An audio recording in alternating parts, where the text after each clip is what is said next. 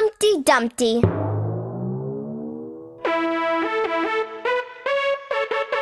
Humpty Dumpty sat in a wall. Humpty Dumpty had a great fall.